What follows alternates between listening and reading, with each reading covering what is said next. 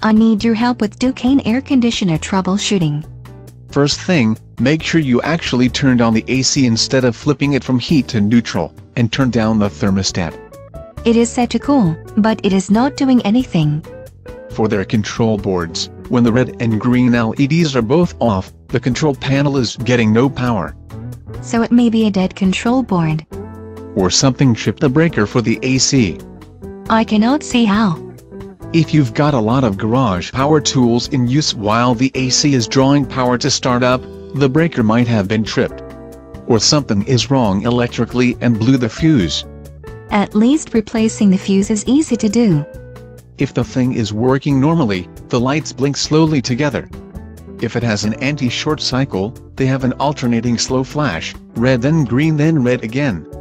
What is an anti-short cycle? It is not running because it thinks it will short out, so it is locked out and shut down but smart enough to tell you why. In which case, I need to either turn stuff off to not max out the load, or replace fuses. If the thing has lights on but won't come on, the starting capacitor might be dead. If the compressor tries to kick in but cannot, and all you have is a fan blowing, maybe you need a starter cap kit. Sometimes it runs but makes a lot of funny noises. If it is sizzling and hissing, it is either in defrost mode because it actually froze up, or there's an electrical problem. What do you do if an AC freezes?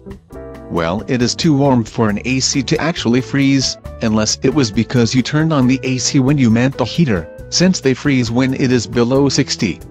A lot of Ducane ACs have a defrost unit to melt that ice. It was around 90 when I gave in and turned it on. You may have a refrigerant leak, cooling the air around the AC. If it is bad enough where the filters are clogged to limit airflow, it'll freeze the condensate your AC coils usually get. So if it is not working because there's an electrical problem beyond the breaker box, I need to call for HVAC repairs. If it has a refrigerant leak, I need an HVAC guy if only to refill the refrigerant. And find the leak in the coils or valves and seal that.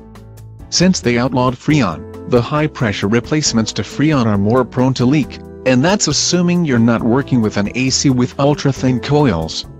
Ducane was not one of the companies getting sued for coils so thin they were guaranteed to corrode through.